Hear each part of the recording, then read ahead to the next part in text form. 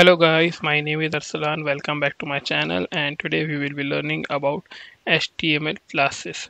So let's start and before starting this tutorial guys, please do subscribe to the channel. Hit the like button, press the bell icon button and bookmark the tutorial so that you can get the recent updates from the channel. So हमारा आज का topic है class तो H class क्या होती है? तो H class क्या होती है? क्लास एक एट्रीब्यूट होता है एट्रीब्यूट हमने लास्ट प्रीवियस क्लास में पढ़ा है। अगर आपको एट्रीब्यूट नहीं पता तो आप प्लीज़ ये वाली जो प्लेलिस्ट है उसको देख लीजिएगा। मैंने ऑलरेडी चैनल में बता चुका हूँ तो आप समझ लीजिएगा। तो अभी क्या हम पढ़ते हैं एच क्लास तो मैं इसके लिए सबसे पहले एक एच टी डॉम क्रिएट कर लेता हूँ बॉयलर प्लेट हमारी।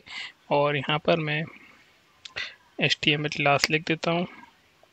एच क्लास एट्रीब्यूट इसको सेव करते हैं और यहाँ पर मैं सबसे पहले एक कंटेनर बना लेता हूँ सबसे पहले मैं क्या करूँगा? एक डिव बना लेता हूँ। डिव डाला मैंने यहाँ पर और यहाँ लिख दिया दिस इस डिव तो यहाँ पर मैं डिव की जगह लिख देता हूँ, एक कंटेनर तो कंटेनर डिव भी लिख सकते हैं कंटेनर भी लिख सकते हैं, कुछ भी लिख सकते हैं आपकी चॉइस है और हम मालूम है कि ये ऐसा ही कुछ आएगा, ठीक है? तो ये हमारा आ गया है this is container and next हम क्या करेंगे, मैं आपको बताऊँगा कि हमारे क्लास का यहाँ पर क्या यूज़ होता है तो क्लास एक one of the most important topic होता है तो अगर हमें जैसे कि स्टाइलिंग करनी हो, इस कंटेनर की, इस कंटेनर की तो मैं क्या करूँगा? डिफ के अंदर एक एट्रीब्यूट डाल दूँगा जिसका नाम है क्लास और इसको बोल दूँगा मैं कंटेनर आप कुछ भी बोल सकते हैं, मैंने यहाँ पर कंटेनर लिख दिया है। और यहाँ पर मैं अगर स्टाइल पे जाऊँ और यहाँ पर बोलूँ डॉट कंटेनर और यहाँ पर मैं कली कली ब्रैकेट लगाऊँ और यहाँ पर बोलूँ border two pixel solid black और सेव करूँ तो अभी आप देखिएगा कि मैंने यहाँ पर एक बॉर्डर मिल गई है। तो अगर हम किसी भी एलिमेंट को अगर टारगेट करना है तो हम क्लास एट्रीब्यूट की मदद से कर सकते हैं। और क्लास एट्रीब्यूट क्या करता है? क्लास एट्रीब्यूट एक उसको एलिमेंट को आइडेंटिफाई करता है और उसका सिंटेक्स क्या होता है मैं सिंटेक्स बता देता हूँ तो क्लास का सिंटेक्स होता है to create a class write a period character followed by a class name then define the C S S properties within the curly braces तो यहाँ पर हमारा सिंटेक्स क्या होता है कि सबसे पहले हम यहाँ पर एक डॉट लगाते हैं। डॉट के बाद हम यहाँ पर क्लास का जो नाम होता है वो लेते हैंगे। एंड फॉलोड बाय उसके बाद हम यहाँ पर करली ब्रेसेस लेते हैंगे।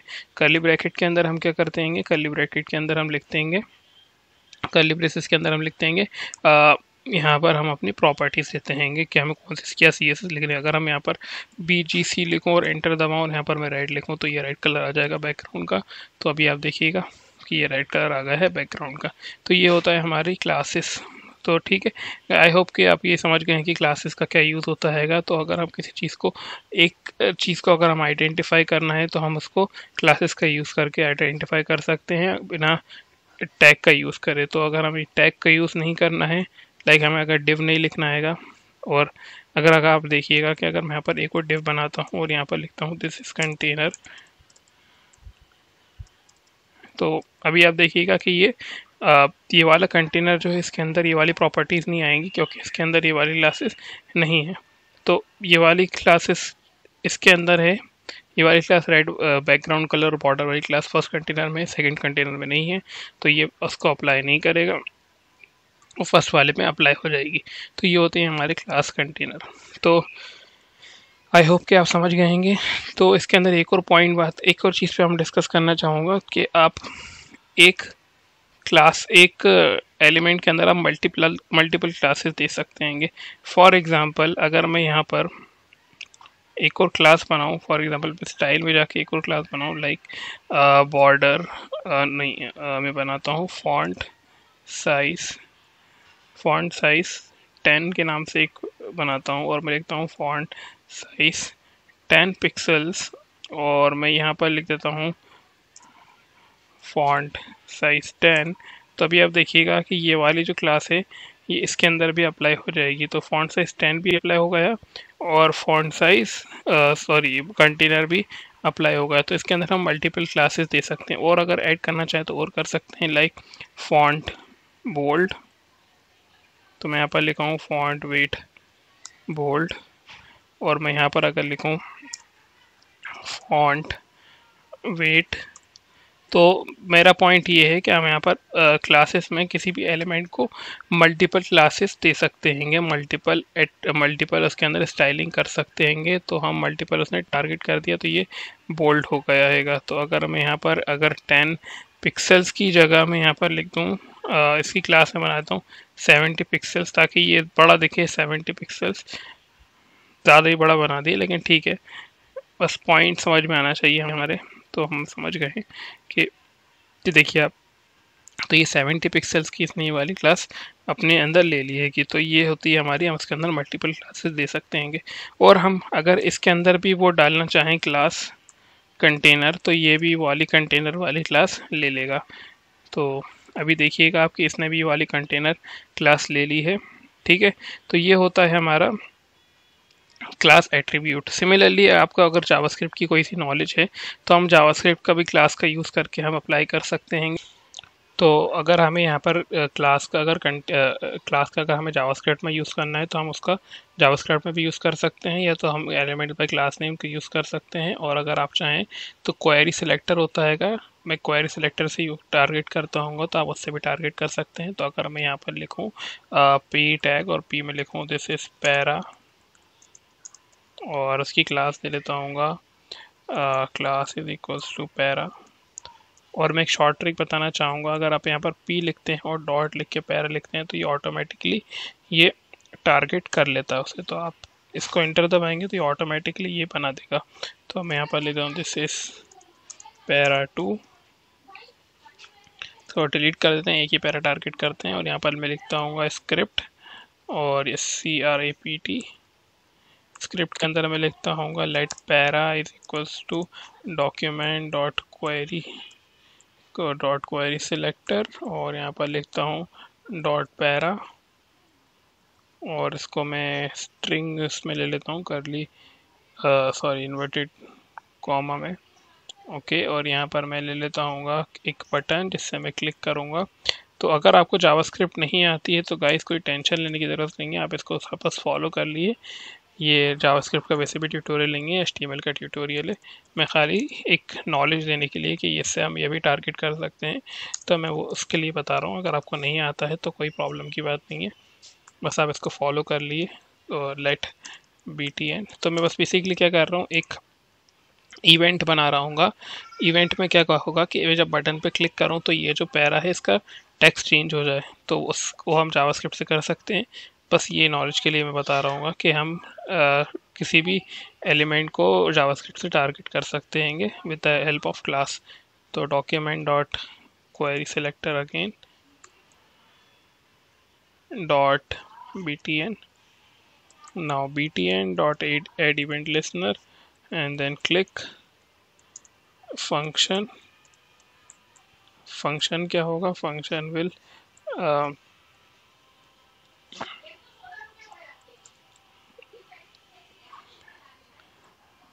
फ़ंक्शन क्या करेगा? Para dot inner text inner H T M L is equals to change तो अभी आप देखिएगा कि मैंने इसके अंदर क्या करा एक बी टी एन बनाएगा। मतलब मैं आपको एक रफ आइडिया दे देता हूँ। अगर आपको जावास्क्रिप्ट नहीं आती, आपको समझ में नहीं आया हो तो मैं बताना चाहता हूँ कि मैंने एक पैराग्राफ लिया है पैराग्राफ हमारा ये है एच टी एम एल में और यहाँ पर मैंने एक स्क्रिप्टिंग लिखी है। स्क्रिप्टिंग ये जावास्क्रिप्ट है तो यहाँ पर मैं टैग यहाँ पर डाल लेता हूँ।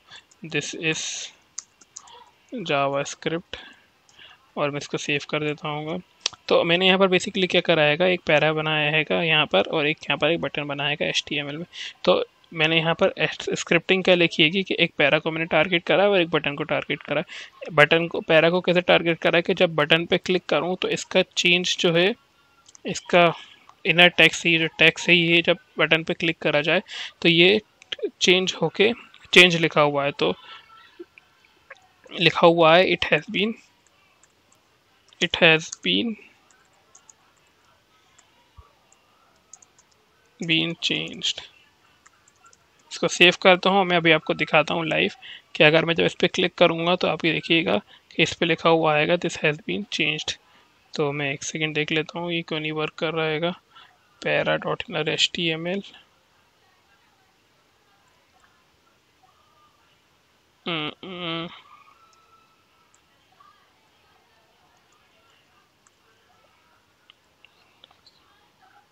ठीक है, अब मैं इस पर क्लिक करता हूँ तो ये वर्क करना चाहिए।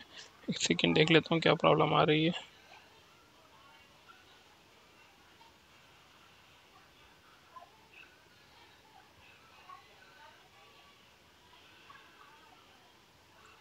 Click function dot B T N dot para save करता हूँ मैं से के inner S T M L it has been change dot para okay so मैंने इसकी क्लास जो है क्लिक दे दी है, इसलिए दिक्कत कर रहा था। मैं इसकी क्लास बी टी एन दूँगा।